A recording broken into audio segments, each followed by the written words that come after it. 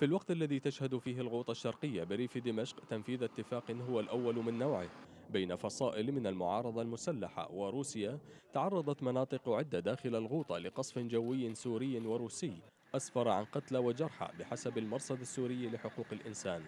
وأفاد المرصد بأن سلاح الجو الروسي كثف غاراته على دوما وزملكا وعين ترمة ومناطق أخرى جنوبي الغوطة ووفقا للمرصد فإن أربعة آلاف مدني خرجوا من الغوطة خلال الأربع والعشرين ساعة الماضية. وذكرت وكالة سانا السورية الرسمية للأنباء أن عملية الإجلاء بدأت وسيتم خروج المسلحين وعائلاتهم من حرستا على دفعات. في الأثناء جرت عملية تبادل معتقلين بين القوات النظامية والفصائل المعارضة حيث أطلقت المعارضة سراح 13 من القوات النظامية مقابل الإفراج عن خمسة مسلحين.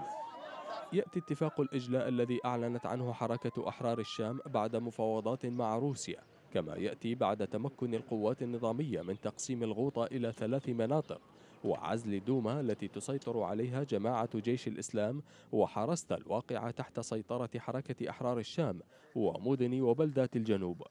وكانت القوات النظامية قد فتحت ثلاثة معابر للمدنيين الراغبين بالخروج من الغوطة الشرقية هي حرستا ومخيم الوافدين قرب دوما وحمورية جنوبا.